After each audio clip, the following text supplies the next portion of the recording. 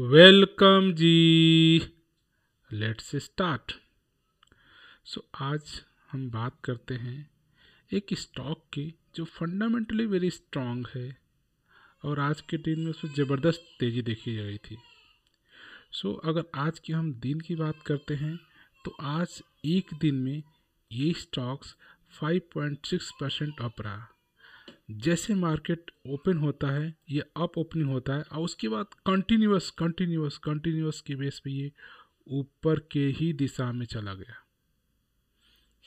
और आज के डेट में इस स्टॉक्स ने आपको 5.6 परसेंट का प्रॉफिट दिया, सिर्फ़ आज एक दिन में। अगर हम इसकी बात करते हैं कि आज के दिन में इस स्टॉक्स में देखोगे तो 82 लाख के आसपास स्टॉक शेयर किया गया जिसमें 41 परसेंट की डिलीवरी है सो आप समझिए कि इस स्टॉक्स में इतने ह्यूज अमाउंट में आज ट्रेड हुआ है राइट right? अगर हम बात करते हैं इसके लॉन्ग टर्म्स की चार्ट की तो आप लॉन्ग टर्म से देखोगे तो बहुत ही बढ़िया एक सुंदर जो लॉन्ग टर्म्स इन्वेस्टमेंट के लिए किसी कंपनी का प्राइस चार्ज होना चाहिए, वो आप देखो कितना ब्यूटीफुली स्टार्ट हुआ, थोड़ा सा डाउन देन कंटिन्यूस बेस पे अप जा रहा है ये। आप देखोगे तो यहाँ सम टाइम देखोगे तो सम डाउन, फिर अप, फिर डाउन, फिर अप, फिर डाउन, फिर अप, फिर डाउन, फिर अप, फिर डाउन, फिर अप। सो इसमें between the period of time बीच बीच में इसमें गिरावट आती रहती है, गिरावट आती रहती है, गिरावट आती रहती है। लेकिन ओवरऑल एक लॉन्ग पीरियड में जिसने 2004 में या 2007 में या 2010 में 2011 थर्टीन में या सिक्सटीन में या नाइनटीन में, जब भी भी आपके पास टाइम है, जब भी भी किसी ने इन्वेस्ट किया है और जस्ट होल्ड किया है लॉन्गर पीरियड ऑफ़ टाइम के लिए तो उसको फ़ायदा ही फ़ायदा आप देखोगे एट्टी एट थाउज़ेंड परसेंट का इस कंपनी ने अपने शेयर होल्डर को रिटर्न्स दे चुका है। तो इस स्टॉक्स को एक लंबे पीरियड के लिए, एक लॉन्ग वराइजन रख करके इन्वेस्टमेंट परस्पेक्टिव से अगर आप कंसिडर करते हैं तो श्योरली एक बहुत ही अच्छा ऑप्शन है। हाँ शॉर्ट पीरियड में तो देखोगे तो इसके अंदर भी गिरावट है। हर देखो ये नेचर ऑफ़ मार्केट होती है कि प्राइस मोमेंट में प्राइस कभी गिरेगा कभी अप आएगा कभी गिरेगा कभी अप आएगा कभी भी गिरेगा कभी अप आएगा कभी गिरेगा कभी अप आएगा। लेकिन overall five year ten year twenty year में तो, तो उसका पीरियड ऐसे डायरेक्शन में जा रहा है। अगर हम इसको कंपेयर करते हैं इसके सेंसस के आप देखोगे तो स्टॉक्स काफ़ी ऊपर गया फिर गिर गया फिर ऊपर गया फिर गिर गया फिर ऊपर गया, फिर गिर गया, फिर ऊपर गया, फिर गिर गया, फिर ऊपर गया, फिर गिर गया, फिर ऊपर गया। इस तरह से नेचर है। लेकिन अगर, फिर भी अगर इसकी बात करें, तीन साल पहले अगर आपने इसमें इन्वेस्ट किया होगा तो आज ये सेवेंटी एट परसेंट का रिटर्न आप समझ सकते हो, सेवेंटी एट परसेंट का रिटर्न आपको दे चुका है। सेक्टर ने भी दिए है सेवेंटी फोर और इस सेंसेक्स ने दिए सेवेंटी एट। सो अगर इस स्टॉक्स की अगर पिछले रिकॉर्ड की बात करें वीकली बेस पे फाइव परसेंट का इंक्रीमेंट आप मंथली बेसिस पे फाइव परसेंट का एक साल में fifty two percent three year में seventy seven percent five year one seventy two और टेन ईयर में एट हंड्रेड परसेंट का रिटर्न सो so, अगर इसकी रेवेन्यू की बात करते हैं ये फाइनेंशियली कंपनी कैसा अगर देखोगे इस कंपनी का रेवेन्यू 2017 से अगर चार्ट दिखा रहा है तो इसमें बाईस हज़ार करोड़ का था देन पच्चीस हज़ार करोड़ देन उनतीस हज़ार करोड़ देन तैंतीस हज़ार करोड़ देन बत्तीस हज़ार करोड़। तो आप देख सकते हो रेवेन्यू एक कांस्टेंट बेस पे अप डायरेक्शन में जा रहा है। अगर हम इसके नेट प्रॉफिट की बात करते हैं तो प्रॉफिट देखिए, पहले चार हज़ार उनचा, उन फोर थाउज़ेंड करोड़ था then 6000 crore, then 7000 crore, then 8000 crore, then 9000 crore then nine thousand crore tremendous एक नेट प्रॉफिट किसी कंपनी का होना चाहिए। वो कैसा solid solid solid solid slow slow slow एक पॉजिटिव में ग्रोथ दिखा रहा है। तो रेवेन्यू और इसका प्रॉफिट एक स्ट्रॉन्ग कंपनी का होना चाहिए, वो ये डेमोन्स्ट्रेट कर रहा है। अगर हम बात करते हैं इसके सी एच आर रिटर्न क्या ऐसे स्टॉक्स ने आपको दिए तो आप देखोगे, एक साल में इसने C G R forty five percent का रिटर्न थ्री ईयर में ट्वेंटी परसेंट फाइव ईयर में twenty one percent ten year में ट्वेंटी फोर परसेंट का C G R compounded annual growth return return on equity की भी बात करोगे तो देखोगे thirteen percent and forty percent continuous maintain करके रखता है। अगर हम इसके बैलेंस शीट को चेक करें कि बैलेंस शीट में क्या कहानी है तो इस कंपनी के पास क्या रिजर्व्स हैं, क्या बारोइंग है तो आप देखोगे, आप इस कंपनी का रिजर्व्स आप देखोगे थर्टी सेवन थाउज़ेंड करोड़ था then forty nine thousand crore fifty six thousand crore sixty five thousand crore eighty five eighty three thousand crore. आप देखो कंटिन्यूस की बेस में इंक्रीज हो रहा है। ऐसे चार्ट भी डेमोन्स्ट्रेट कर रहा है आपको। देखिए क्या सॉलिड तरीके से इसका रिज़र्व बढ़ता जा रहा है। और इसके रेवेन्यू अगर इसकी कंपनी के उधारी कर्ज क्या है रेवेन्यू देखो, कर्ज भी इसके फोर्टी नाइन थाउज़ेंड का था, फिफ्टी एट का करोड़, सिक्सटी सिक्स का, सिक्सटी फाइव का हो गया था। दान इसने रिड्यूस किया अपने कर्ज को नाउ फोर्टी सेवन करोड़। तो आप देखोगे, अपने कर्ज जैसे बढ़ रहा है, उसके बाद इसने रिड्यूस करना शुरू कर दिया। तो किसी कंपनी की ये सबसे पहले टारगेट होता है, उसके पास जितने, देखो कंपनी बारोइंग क्यों लेती है? अपने बिज़नेस को एक्सपेंड करने के लिए बिज़नेस को बढ़ाने के लिए बिज़नेस के एक्सपेंस को चलाने के लिए। लेकिन जैसे उसकी अर्निंग होते हैं प्रॉफिट्स होता है, और अपने बारोइंग को अपने डेट को कम करती है। सो so, इस कंपनी का भी सेम प्लान है। अगर हम इसके शेयर होल्डर पैटर्न को चेक करें तो आप चेक करोगे twenty six percent share share hold share जो हमारे प्रमोटर के पास है और फोर्टी टू परसेंट देखोगे तो एफ़ आई आई के पास है। तो अधिकतर इसमें जो फॉरेन इंस्टीट्यूशन ने इसमें इन्वेस्टमेंट कर रखा है। और D I I fifteen percent and sixty percent आम पब्लिक ने भी तो इस कंपनी में फॉरेन इंस्टीट्यूशन का सबसे ज़्यादा वेटेज है फोर्टी टू परसेंट अगर जो ये बात है, ये एक प्राइवेट सेक्टर की बड़ी बेहतरीन strong company I am talking about the Kotak Mahindra bank. So Kotak Mahindra ने आपको के एक तरह का एक लंबा इन्वेस्टमेंट एक लॉन्ग टर्म वराइजन रखते हैं तो ये स्टॉक्स आपके लिए बेहतरीन है। और आज के डेट में ये स्टॉक्स देखोगे तो टू थाउज़ेंड पे ट्रेड कर रहा है।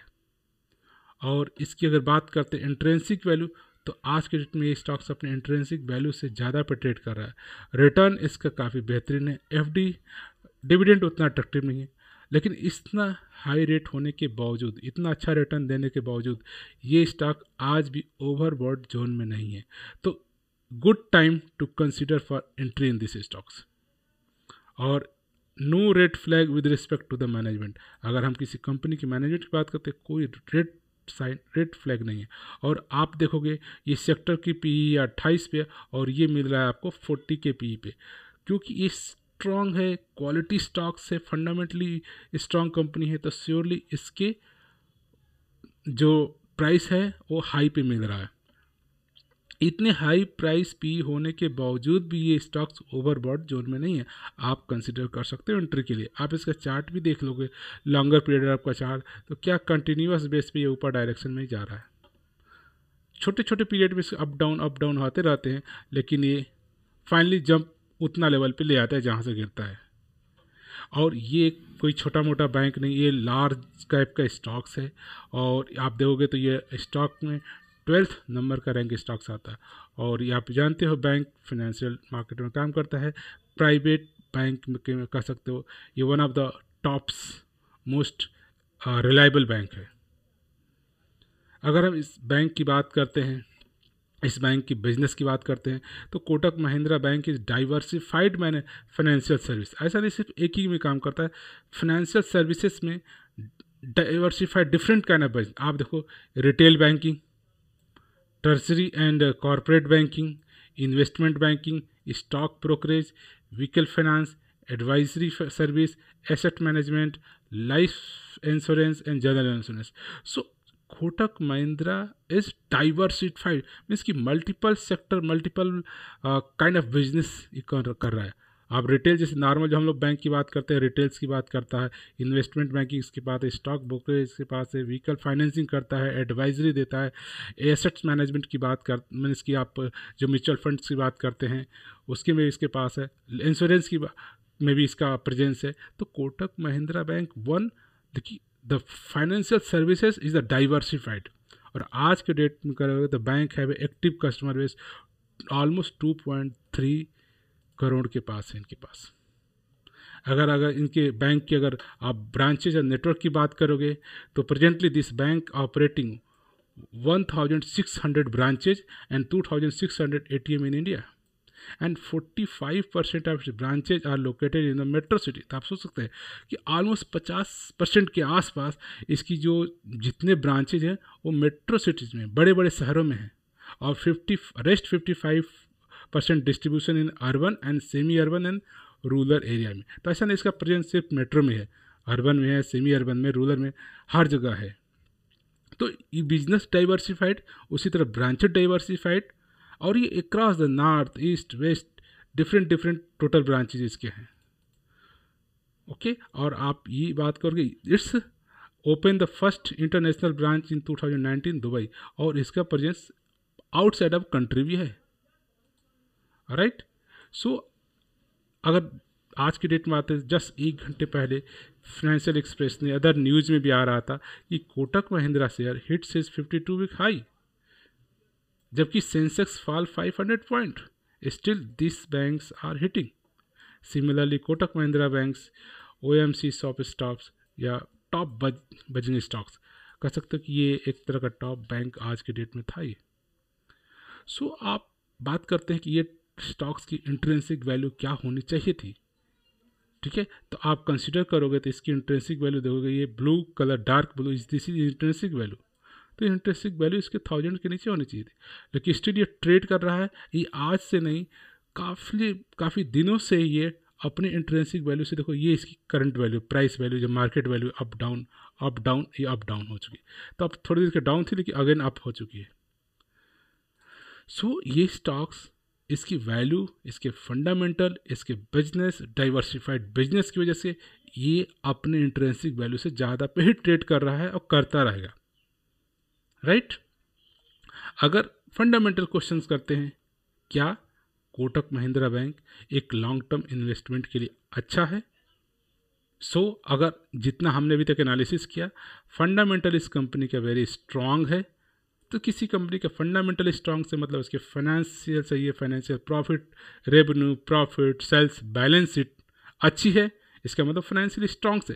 फाइनेंशियल स्ट्रांग से और उसका मैनेजमेंट में भी कोई रिस्क नहीं है अच्छा रिटर्न्स देता है। सो ये सारे पॉइंट को कंसिडर करें तो this stocks can be one of a good option for the long terms investment आप भी अपने पॉइंट ऑफ़ व्यू से इस स्टॉक्स के ऊपर एनालिसिस करो रिसर्च करो एंड चेक करो, क्या ये बैंक आपके लिए एक good stocks for longer period of time के लिए बन सकता है कि नहीं? लेकिन इस अभी तक की एनालिसिस से ये लगता है कि बैंक्स फंडामेंटली स्ट्रॉन्ग से प्राइवेट सेक्टर का बैंक है ओवरसीज में प्रेजेंस है अक्रॉस द इंटर कंट्री में प्रेजेंस है, इसके रेवेन्यू सही आ रहे हैं प्रॉफिट सही है बैलेंस शीट बराबर है दैट मीन्स आप इसको एक लॉन्गर पीरियड के लिए कंसिडर कर सकते हो। आज की डेट में ये शेयर अपने ओवर वैल्यूड पे ट्रेड कर रहा है। अगर आज की डेट इसकी इंट्रेंसिक वैल्यू बात करें काफ़ी लोअर है। लेकिन आज की डेट में ये स्टॉक्स आपको 256 परसेंट प्रीमियम वैल्यू पे ट्रेड कर रहा है। सो so, आप अगर एक बैंकिंग में बैंकिंग सेक्टर में फिनेंशियल सर्विस में आप एक तरह का इन्वेस्टमेंट करना चाहते हैं, एक लंबे पीरियड के लिए तो उसके लिए इस Kotak Kotak Mahindra bank is the one of the good option और इसमें जितना लंबा पीरियड एक साल, दो साल, तीन साल, चार साल, पाँच साल, दस साल पंद्रह साल के लिए होल्ड करते हैं वैसे वैसे इसका प्राइस मोमेंटम ऐसे अप डायरेक्शन में जाएगा। तो आप एनालिसिस करो जब आपकी एनालिसिस फिट बनती है, आप किसी भी टाइम पे इस स्टॉक्स में इन्वेस्टमेंट कर सकते हो। कभी भी स्टॉक मार्केट में लेट नहीं होता है। आप लेट नहीं हो। आप एनालिसिस करो, आप रिसर्च करो, आपके हिसाब से से बनता है। उसी दिन मार्केट में आप इंटर हो जाओ। उसी दिन इन्वेस्टमेंट कर लो। उसके बाद लंबे पीरियड के लिए छोड़ दो। आपका profit profit profit so so, आपका पहले इन्वेस्टमेंट पूरा होना चाहिए आपका रिसर्च पूरा होना चाहिए आपकी एनालिसिस पूरा होना चाहिए और फिर आप इस बिज़नेस को जान जाओगे समझ जाओगे इसका बिज़नेस क्या है ये बिज़नेस आने वाले पाँच से दस साल में क्या ये कोटक महिंद्रा बैंक का बिज़नेस चलता रहेगा ये बैंक रहेगा कि नहीं रहेगा डूब जाएगा आप क्या सोचते हो? तो आप अपना भी एक तरह का एनालिसिस करो। कि कंपनी का मैनेजमेंट का पर्सपेक्टिव क्या है मैनेजमेंट क्या प्लान कर रहा है? तो ये सारे क्राइटेरिया आपको चेक करना है। कंपनी का मैनेजमेंट की थिंकिंग क्या है? कंपनी का बिज़नेस क्या है? कंपनी का फंडामेंटल मीन्स कि उसके बैलेंस शीट में उसके पास कितने डेट हैं, उसके पास कितने बारोइंग है, उसके पास कितने बैंक एंड बैलेंस है, उसके पास फाइनेंशियल नंबर उसके सेल्स कैसे आ रहे हैं, उसके ग्रोथ उसका प्रॉफिट ग्रोथ क्या हो रहा है, उसका रेवेन्यू ग्रोथ क्या हो रहा है? ये सब सारे पॉइंट को आप कंसिडर करो। कंसिडर करने के बाद आप अपना एनालिसिस लगाओ, अपना दिमाग लगाओ, अपना एक तरह का बैठ के सोचो और फिर सोचो कि ये क्या कोटक महिंद्रा बैंक एक लॉन्ग टर्म्स इन्वेस्टमेंट के लिए आपके पर्सपेक्टिव से फिट बैठता है। आप बिज़नेस समझ गए। Surely you can go for the longer period of times ये बहुत ही बहुत ही प्राइवेट सेक्टर का एक खास फंडामेंटली स्ट्रॉन्ग शेयर है। और आप स्टॉक्स को समझ भी गए। If you want to investment तो ये नहीं कि आज जितना पैसा, सब लगा दो। आप थोड़ा थोड़ा पैसा इसमें। एक शेयर, दो शेयर, दस शेयर, जितना आपके पास अवेलेबल फंड है, दो से लगा दिया, दस से लगा दिया, पंद्रह से जैसे जैसे आपके पास अवेलेबल मंथली बेसिस पे या वीकली बेसिस पे या बाई मंथली बेसिस पे, जैसे आपके पास अवेलेबल फंड हो, धीरे धीरे धीरे धीरे नंबर ऑफ़ शेयर को एकोमोलेट करते रहे। आपके पास स्टॉक मार्केट की सबसे जो बेहतरीन बात है, आपको अपने नंबर ऑफ़ स्टॉक को एकोमोलेट करना है, बढ़ाते जाना है, तभी आपका वेल्थ क्रिएट होगा। अब एकुमुलेट करने के लिए एक ही बार सारा पैसा मत लगाइए। थोड़ा थोड़ा थोड़ा था जैसे आपके पास अवेलेबल होता है, आप थोड़ा थोड़ा पैसा लगाते जाइए नंबर ऑफ़ शेयर को एकोमुलेट करते जाइए, क्योंकि आपने उसके बिज़नेस को समझा है। फंडामेंटली स्ट्रॉन्ग शेयर है। So this is the way you can look the market from this note I would like to say thank you for watching this video